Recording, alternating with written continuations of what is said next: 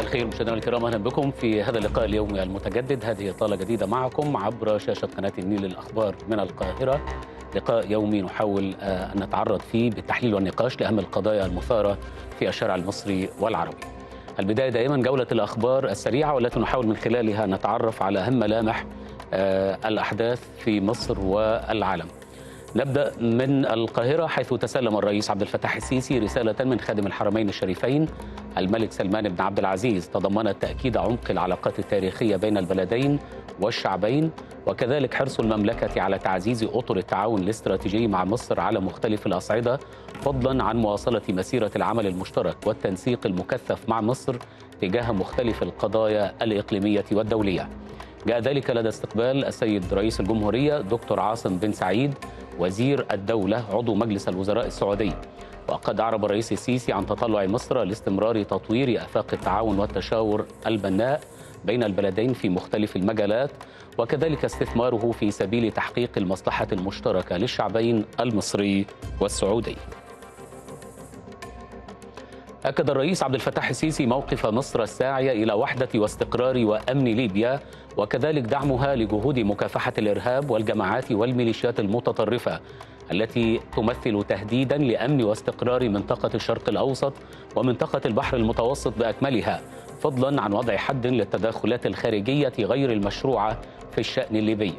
جاء ذلك في اتصال هاتفي تلقاه الرئيس من المستشارة الألمانية أنجلا ميركل استعرض خلاله عددا من الملفات الإقليمية خاصة الوضع في ليبيا. وقد أكدت ميركل سعي ألمانيا للحل السياسي في ليبيا وتم التوافق على تكثيف الجهود للعمل على إنهاء الأزمة الليبية من خلال حل شامل يتضمن جميع جوانب القضية. كما أكدت حرص بلادها على دفع العلاقات المتميزة بين البلدين وتطويرها في شتى الأصعدة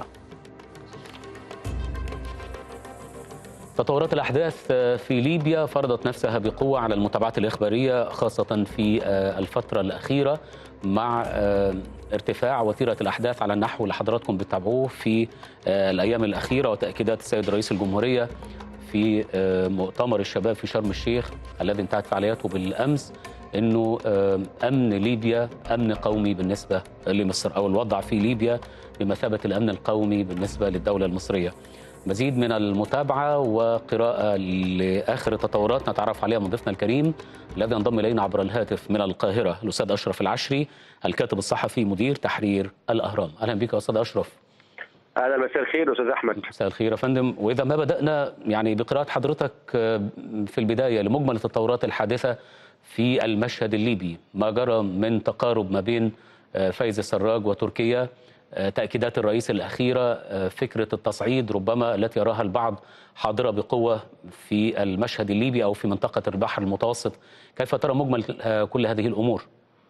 بلا شك أن تطورات الأزمة الليبية ما زالت حتى هذه اللحظة بتحظى بكثير من الاهتمام وأيضا الرصد من قبل المصريه والدولة المصرية باعتبار أن ما يحدث في ليبيا حاليا خارق للعادة ولا يمكن بأي حال من الأحوال أن يمثل أحد ركائز الاستقرار في ليبيا في هذه المرحلة الدقيقة التي تواجه فيها تحديات بالغه الأهمية من حيث توافر العناصر الإرهابية والميليشيات المسلحة داخل طرابلس برعاية من حكومة فايز السراج والدعوة للاستنجاد بالجانب التركي في ضوء ما حدث من اجتماع اليوم بين فايز السراج وقيادة حكومته وقيادة الميليشيات وبحضور السفير التركي داخل طرابلس اليوم لطلب نجدة من قبل أو على الأقل الاستعانة بتسلح أو قوات مسلحة تركية. أعتقد أن ما تم كشف النقاب عنه أنه طلب 5000 جندي تركي بالإضافة إلى اقامه مجموعة من القواعد العسكرية في حمص وفي مصراتة وفي طرابلس خلال الأيام أو الفترة القادمة، الأمر الذي انعكس بشكل سلبي على تطورات المشهد داخل ليبيا وسبب إزعاج المجتمع الدولي بما فيه دول الاتحاد الأوروبي والشرق المتوسط حاليا باعتبار أن هذا الأمر سيتسبب في انتكاسة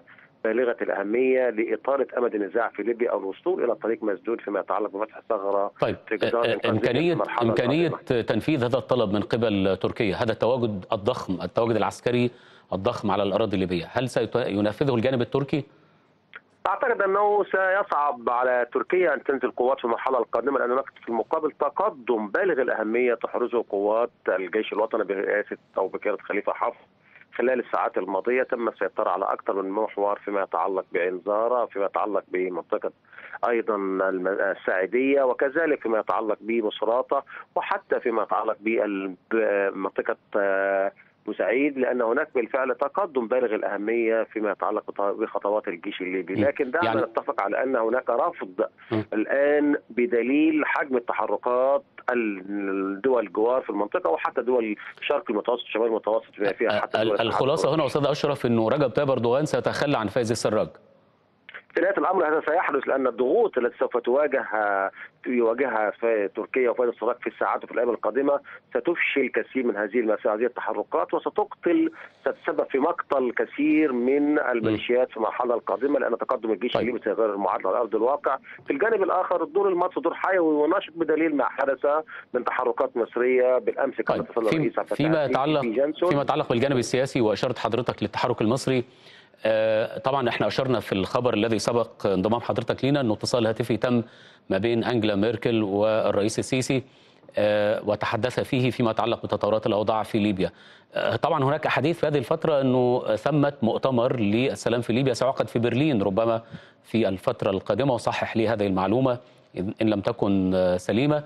الجانب الأوروبي هل لديه أجندة أو نقاط محددة للتعامل مع ليبيا في الفترة القادمة سيسعى لتحقيقها بالفعل سيعقد المؤتمر أو ألمانيا تحديدا تتفق مع بعض دول الاتحاد الأوروبي بما فيها حتى مبعوث الدولة غسان سلامه لترتيب لعقد مؤتمر في أوائل العام القادم في برلين يضم كل الفرقاء الليبيين ودول الجوار والدول المعنية بالشان الليبي.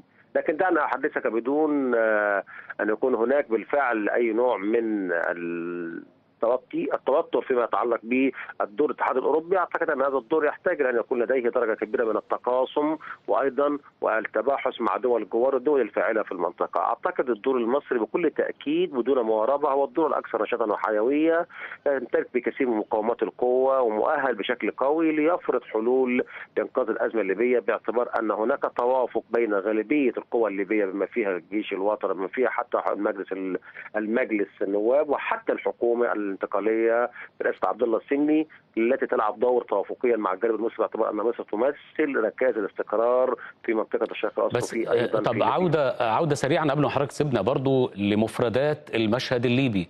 الطرفان ربما الطرفان الرئيسيان الجيش الليبي وحكومة السراج ربما كل منهما ينظر إلى الآخر ويشكك في شرعية الطرف الآخر. فكيف سيتم الجلوس والحديث عن يعني توافقات سياسية؟ أنا قلت لك في البداية أنه سيكون هناك تقدم وتغيير المعادلة خلال الأيام القادمة وأن من ده إذا ده إذا ده إذا نجح حفتر في السيطرة على طرابلس. هذا متوقع كل المؤشرات العسكرية التي بالفعل تخرج من من ليبيا خلال الساعات الأيام الماضية تؤكد هناك تقدم محروس بدليل محرز. في هذا الشان بدليل أن سيد السراج عقد اجتماع اليوم مع قاده الميليشيات وقاده من حكومته المؤقتة وسعى للإسراع بطلب النجده والاستغاثة من قبل حكومة السيد أردوغان. في المقابل نعم. من سينجح في فرض سيطرته داخل طرابلس وينجح بشكل كبير في السيطرة على كل الأراضي الليبية باعتبار الجيش الوطني. يسيطر على 90% من الاراضي الليبية حاليا أعتقد أن هذا سيغير المعادلة وربما لا يكون هناك مؤتمر لبرلين نعم. اللي اعترفت برلين ودول الشرق المتوسط بأن من يملك القوة هو الجيش الوطني سيفرض الحلول القادمة لحياة سياسية دائما أو أقل فرض خريطة سياسية في ليبيا. دائما نشكرك أستاذ أشرف على مشاركتك معنا وقراءتك التحليلية الأستاذ أشرف العشري مدير تحرير الأهرام متحدثا الينا عبر الهاتف من القاهرة. اختتمت في مصر أيضا عمل اللجنة الفنية المتخصصة للدفاع والأمن والسلامة الإفريقية بحضور وزراء الدفاع والأمن الأفارقة. وقد أكد الفريق أول محمد زكي القائد العام للقوات المسلحة وزير الدفاع والإنتاج الحربي أكد تطلع مصر الدائم لمزيد من التعاون العسكري والأمني مع دول القارة الإفريقية لدعم جهود الأمن والاستقرار ومكافحة الإرهاب. وطالب باعتماد خارطة طريق القاهرة لتعزيز عمليات حفظ السلام باعتبارها نواة لموقف إفريقي موحد فيما يتصل بعمليات حفظ السلام الأممية وفي ظل إعادة الهيكلة الجارية. عقد دكتور مصطفى مدبولي رئيس مجلس الوزراء اجتماعا موسعا في مقر المتحف المصري الكبير في إطار متابعته لأعمال تنفيذ وتطوير المنطقة المحيطة به. خلال الاجتماع شدد مدبولي على ضرورة الإسراع في تطوير المنطقة المحيطة بالمتحف لتتناسب مع هذا الصرح الحضري مكلفا بوضع برنامج زمني للأعمال المتبقية. كان مدبولي قد أكد أن افتتاح المتحف المصري الكبير يعد فرصة جديدة لتقديم مصر للعالم بشكل استثنائي يساهم في جذب الأفواج السياحية من كل دول العالم ويضعها في مقدمة الدول السياحية بما يليق بمكانة مصر وما تمتلكه من آثار متنوعة.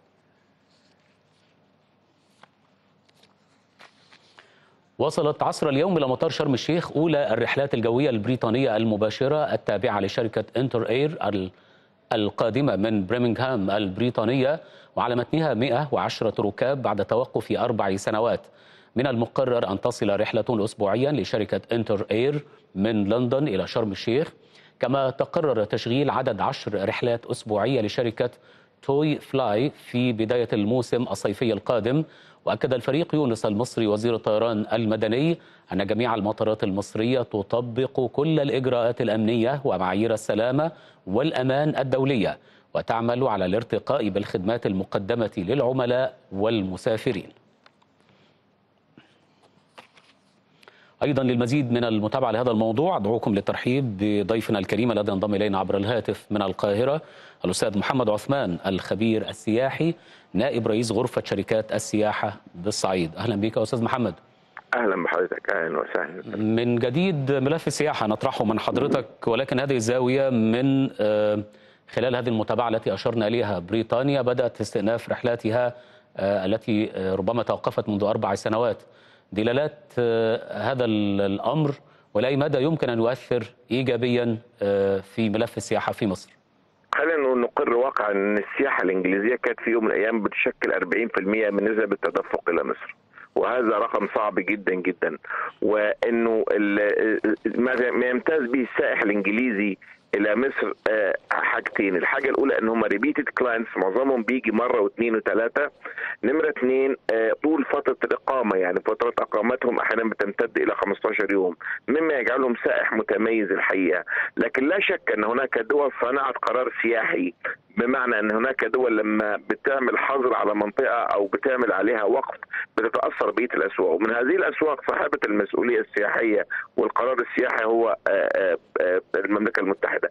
خلينا نقول إن ده اعتراف صريح جدا دي الدلالة الأولى اعتراف صريح جدا بان مطارات مصر أصبحت آمنة. مطارات مصر تعد الآن من امن المطارات في العالم. الإندبندنت كانت من أيام وده احد أحد أسباب عودة السياحة أقرت إن مصر واحد من أفضل الأماكن وخاصة شرم والغردقة الفترة المقبلة. الاعترافات اللي أثبتت إن مصر امن منطقة واحدة من أكثر الاماكن أمنا في المنطقة. خلينا نقول إن هذا كمان مرة أخرى يدل على إن دولة بسطت سيطرتها وقوتها ولديها القدرة على حماية ضيوفها كل هذه الأمور تعني وبامتياز إن مصر بتستعيد قوتها السياحية بتتنوع المنتج السياحي ما بين جنوب شرق آسيا وأمريكا اللاتينية ثم يأتي السائح الإنجليزي اللي إحنا بنقول ما زلنا إنه عصب صناعة السياحة سواء السياحة الثقافية أو الترفيهية. لكن فكرة إنه بتروح مطارات شرم الشيخ هل نتوقع رحلات تأتي لمطار القاهرة أيضا؟ آه وفي فلوس كمان طيارة. إحنا عندنا طيارة بتيجي كل أسبوع من من من من هيسرو. الطيران الإنجليزي لم يتوقف بالشكل التام لكن كانت هناك معوقات بتضعها شركات التأمين هناك. لكن هذا الأمر رفع. لكن أنا أعتقد إن خلال يناير هيتم تدفق كبير جدا في طيران من من من من هناك بينزل كمان إلى الغردقة مرسى علم. فأنا أعتقد ان كان ينقصنا فقط منطقة شرم الحقيقة وكان هم كانت عندهم مشكلة مع مع مع شرم تحديدا. ال ال ال ال ما تم تقييمه من مطارات مصر واللي وضعها بلا تحيز من امن مطارات في العالم هو المردود الطبيعي جدا جدا أن تعود السياحة الإنجليزية إلى شرم الشيخ لكن بالنسبة لمصر أو الأقصر تحديدا خلينا نتكلم إن إحنا عندنا طيارة من هيسرو كل أسبوع وعندنا وعد من وزارة الطيران المدني إنها هتبقى طيارتين عندنا الطيران العارض هيزيد ابتداء من شهر يناير إن شاء الله مما يضع مصر زي ما قلت لحضرتك في مكانها صحيح. مصر لا تقل ابدا طيب. على أن تكون الوجهة الحقيقية. في بما ان حضرتك راجل صعيدي هل الصعيد المفروض برضه يكون ليه نصيب في فكرة رحلات الطيران المباشرة وخصوصا في فترة الاحتفال باعياد رأس السنة وفترة الشتاء بتكون طبعا صعيد مصر مشتى مناسب بالنسبة للسياحة الأوروبية. اتمنى من خلال برنامج حضرتك أن تعيد وزارة الطيران المدني وعلى رأسها سيادة الفريق وهو شخصية وطنية جدا جدا جدا وله أيادي بيضاء أن يعود إلى يعيد إلى الصعيد خط مانشستر الأقصر، إحنا عندنا رحلة واحدة بتيجي من هسرو للأقصر مصر طيران. دي, دي رحلة رحلة أسبوعية يا أستاذ محمد؟ رحلة أسبوعية يوم الأحد. بتيجي وتطلع الاثنين وبتيجي مليانة. فأنا أتمنى ان طيب معلش الرحلة دي بيكون عدد يعني سائحين عليها جيد ولا الأعداد بتكون جيد جدا. خلي بال حضرتك نسب التشغيل الاقتصادي مع سوق زي السوق الإنجليزي اللي أصلا كان عندنا مشاكل معاه لما يصل إلى نسبة تشغيل إلى 70 و80% ده يعتبر نجاح. لكن مع الكريسماس تنير ولا شك إن قرار عودة شرم الشيخ هيكون له مردود أتمنى إن خط مانشستر الأقصر يرجع وده من الخطوط الواعده جدا. ليس هناك سياحة بدون كارير أو بدون ناقل وإحنا لازم نعتز بمصر طيران الطيران العارض من الشركات الأخرى بيجي زي ما حضرتك قلت تيوي بتبعت طيران. عايز أقول لحضرتك إن حتى إيطاليا اللي كانت متوقفة من 10 سنين منزلة إحنا في الأقصر ثلاث طيارات هذا الأسبوع ثم ستستمر باقي العام، إذا يجب أن يكون هناك سبق لمصر الطيران، مصر الطيران الشركة الرائدة العظيمة اللي بنعتز بها يجب يكون للصعيد أيضا فيها جزء يعني عندنا خطوط. أنا ما أعرفش متوقفة إيه زي مثلا إزاي ما يبقاش عندي خط. اوزاكا الأقصر خط اليابان وأترك هذا الخط الاستراتيجي نعم. للغير. للغير هناك أحد شركات الطيران الآن ولا داعي لذكر اسمها بتطير أربع شركات أربع طيارات في الأسبوع للاقصر وممتلئة. وعندهم طيب. واحد هم يشتغلوا سبعة. نتمنى الفريق محمد يونس يكون سامع حضرتك دلوقتي وأنت أثنيت عليه وعلى تفاعله مع مثل هذه القضايا. وله طفرة وعمل آه. طفرة في مطارات مصر وطائرات مصر فريق, فريق يونس المصري وزير الطيران المدني نتمنى طبعا يكون سامع حضرتك. وزي ما حضرتك أثنيت عليه كده إن شاء الله يكون في تفاعل إيجابي مع الأفكار اللي حضرتك طرحتها. بشكرك شكرا جزيلا الأستاذ محمد عثمان الخبير السياحي نائب رئيس غرف غرفة شركات السياحة بالصعيد. معكم نستكمل بقية الأخبار بناء على توجيهات السيد الرئيس عبد الفتاح السيسي بالتعاون مع مشروع المملكة العربية السعودية للإفادة من الهدي والأضاحي أحد مشروعات البنك الإسلامي للتنمية لتنفيذ نسك حجاج بيت الله الحرام في إطار مشروع المملكة العربية السعودية للإفادة من الهدي والأضاحي. لتقديم أفضل الخدمات والاستفادة من جميع الهدي التي يتم ذبحها في إطار المشروع وذلك عن طريق بيع سندات الهدي والأضاحي بأوساط الحجاج المصريين داخل مصر في أكثر من خمسين منفذا بكل من مكة والمدينة ومشعري منى وعرفات وذلك بالتعاون مع كل الأجهزة المعنية بشؤون الحجاج في مصر ممثلة في وزارات الداخلية والسياحة والتضامن الاجتماعي والتخطيط والمتابعة والإصلاح الإداري. في هذا الإطار تم توقيع بروتوكول تعاون مع المشروع لتنظيم عملية بيع الصكوك إلى حجاج بيت الله المصريين لأداء هذا النسك الذي يتم من خلاله تعظيم الاستفادة من لحوم الهدي لصالح المستحقين بمختلف محافظات جمهورية مصر العربية.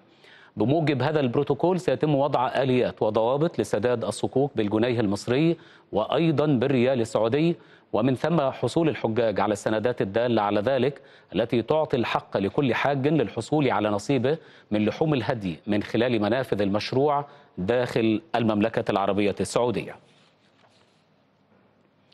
من أخبار الشأن المصري أيضا واصلت وزارة الداخلية الإفراج عن المستحقين من نزلاء السجون والإفراج بالعفو عن 136 نزيلا والإفراج الشرطي عن 280 نزيلا بمناسبة عيد انتصار السادس من أكتوبر.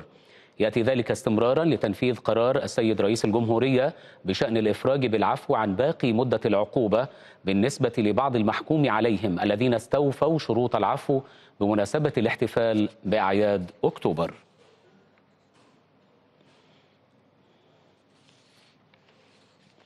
كده مشاهدينا الكرام وننهي هذه الجولة الإخبارية السريعة. نتمنى أن نكون قد وفقنا في أن نطوف بكم حول بعض من أهم ملامح تطورات الأحداث في مصر. بعد قليل نبدأ معكم أولى فقراتنا الحوارية. هنتناول فيها بشيء من التحليل واحد من الأخبار التي ربما تناولناها في هذه الجولة وهو انطلاق اجتماع رؤساء أركان الجيوش الإفريقية بالعاصمة الإدارية. ضيفنا الكريم الذي سنشرف به بعد لحظات هو سيادة اللواء دكتور ناصر سالم المستشار بأكاديمية ناصر العسكرية العليا. ابقوا دائما معنا.